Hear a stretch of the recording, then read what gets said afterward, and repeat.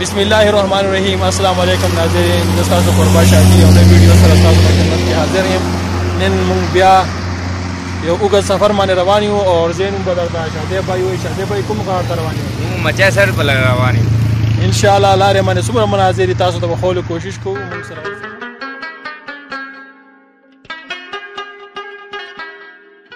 جی ناظرین دی وخت کې مونږ کانډاو کې موجود یو او دلته چې بیا راشه په ټکرام روډ نه چې دی بیا د مبارا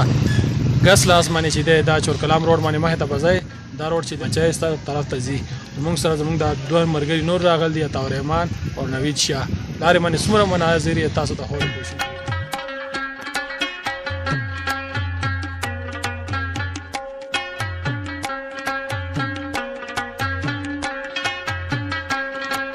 جی ناظرین مونږه په بره مچای سر طرف ته روان یو او تقریبا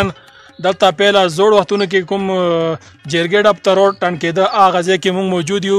او مونږ سره چې دی زمونږ شاهزیب خان و موجود دی نوید شاه او عطاورحمان و موجود دی شاهزیب نه به تپوس کوو شاهزیب سفر څنګه دی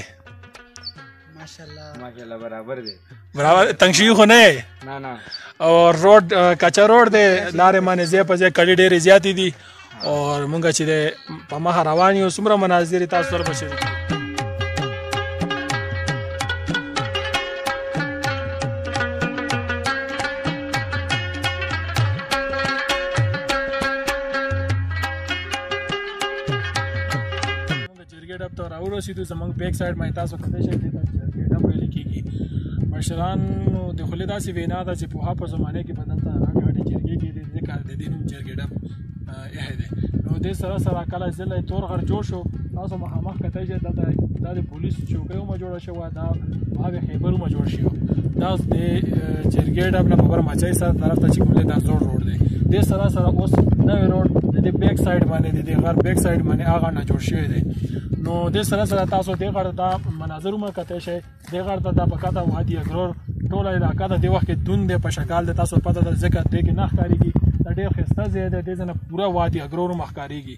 د سره سره د دې کې تاسو کته شي مهمه دلته اوس دلته د سیګنالو سہولیات هم موجود دي ځکه چې دلته ټاور هم لګېدل دی او دې سره سره ځینې حکومت له پکار ده مخې ته زمونږ یو دلته یو بل ډېر ښایسته د سیلانیانو لپاره بهترین ځای دی کوم ته ویل کېږي نیمل ډب دا روډ د هغې سره ټچ کړی شي یا سمبلبوټ د غاړه نه هغه روډ ټچ کړی شي نو دا یو ښایسته پکنک پوینټ لپاره بهترین ځایونه دي دې سره سره تاسو دې غاړه ته کتای شئ دا کومه علاقه ده دې ته تور غر ویل کیږي دون دی ځکه دا بیک ساید باندې د کوسور علاقې دي دا نه ښکارېږي لیکن دا جرګه ډب یو داسې ځای کې واقع دی دې ځای نه وادي اګرور ضلع تور غر او ټول علاقې ډېر صفا او بهترین انداز کې تاسو کتای شئ نو د سره سره زموږ مه ته زموږ سفر چې ان شاء الله مچای طرف ته به موږ ځو څومره مناظر تاسو سره به شریکو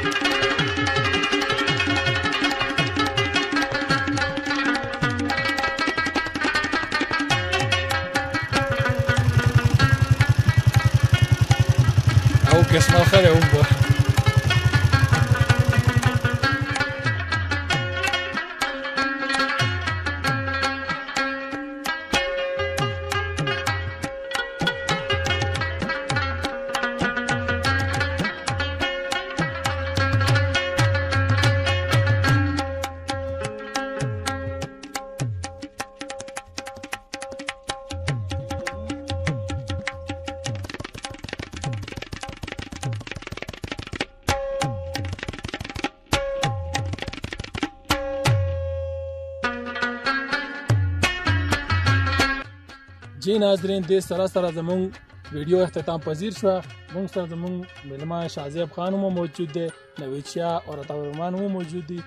نو یو څو تاسو به خپل د میلمنو وکړو دا لاور نه راغل چې د زمونږ علاقې څنګه ولګا ایشا زیب بچای سر او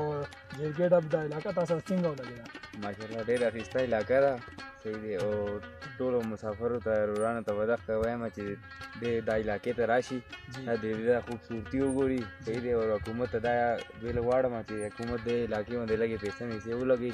روډونو موډونو برابر کی جی ولې چې دا روډونو لږ خراب دي دا لږ انسان تنګي جی او باقی دا هوټلې موټلې مشتي دی خو یو خخې ستا علاقه ده او د سره سره خار کې کوم مثال کې تور مې څنګه تاسو لاهور کې اوسئ د لاهور کوم کسان دي د لاهوري جبه کې هغه تاسو وایي